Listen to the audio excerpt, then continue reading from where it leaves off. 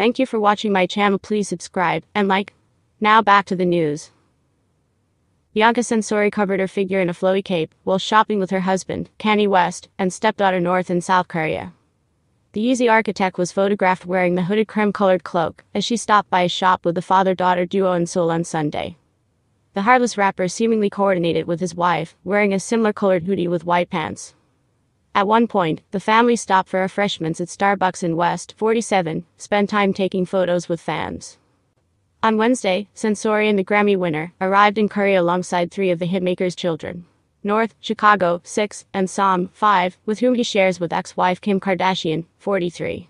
West's oldest son, Saint, 8, is currently in Madrid with the Skims co-founder. The 29 year old model was seen holding Chicago in her arms while walking through the airport with the little ones. Censori put on another conservative look for the outing, wearing a skin tight long sleeve top, knee length shorts, a paperboy hat, and heels. West walked nearby, sporting a white hoodie, gray sweepants, and sunglasses. Censori has embraced her role as a stepmom since marrying the Yeezy creator in December 2022. The Australian beauty in North recently spent one on one time cuddling mini pigs and grocery shopping in Tokyo in June. Censori and West also frequently spend quality time with his eldest child at the movies at the celebrity hotspot Nobu.